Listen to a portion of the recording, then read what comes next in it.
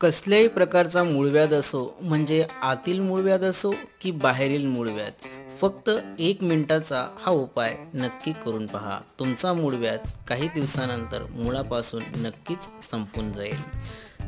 तर मित्रांनो मूळव्याधामध्ये येणारी खाज असो आलेले कोंब असो किंवा बऱ्याच जणांचं रक्त देखील पडत असतं. बऱ्याचशा यातना देखील त्यांना त्यामुळे होत असतात.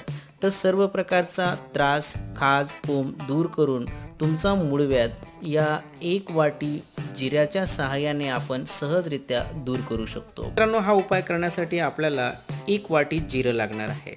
मित्रांनो जिऱ्यामध्ये असे अनेक अँटीऑक्सिडंट गुणधर्म असतात.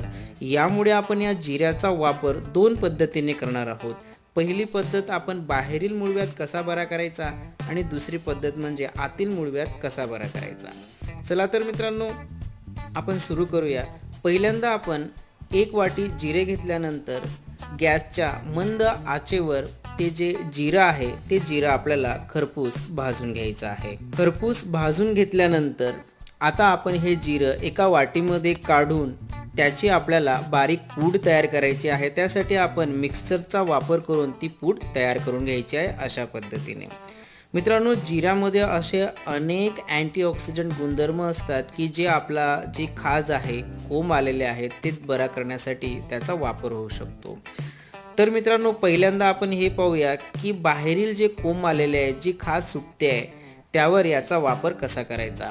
तर मित्रांनो जर ते प्रमाण कमी जास्त असेल त्या पद्धतीने तुम्ही ही जिरेपूड घेऊ शकता.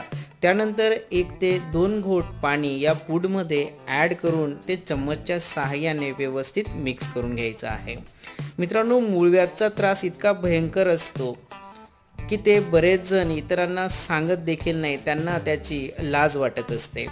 तर मित्रांनो हा उपाय घरच्या घरी तुम्ही करायचा आहे. बघा रात्री झोपण्यापूर्वी ज्या ठिकाणी खास सुटते कोम येत कोम आलेले आहेत रक्त पडते त्या ठिकाणी अशा पद्धतीने ही जिरे पुढची जी पेस्ट बनवली आहे ती तुम्ही ॲप्लाय करू शकतात.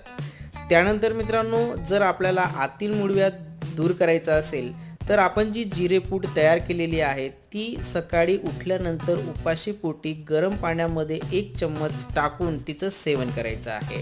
एकदा सकाळी उठल्यानंतर आणि दुसऱ्यांदा रात्री झोपण्यापूर्वी.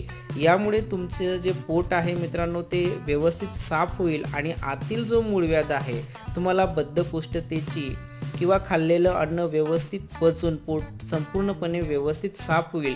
त्यामुळे आतील जो मूळव्याध आहे तो हमखास बरा होईल.